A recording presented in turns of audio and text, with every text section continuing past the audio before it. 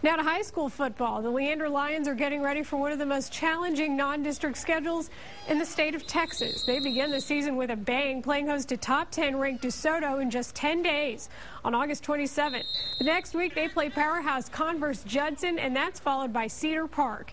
It's a schedule that would scare some, but not head coach Steve Gideon we like the strong competition. So we could, we feel like we could land anywhere. We could be undefeated, which is our goal.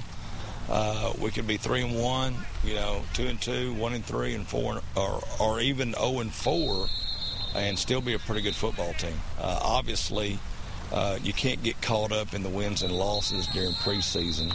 You have to see what the big picture is, and that's what our. I think our kids are mature enough to understand why we do it. I'm looking forward to that one.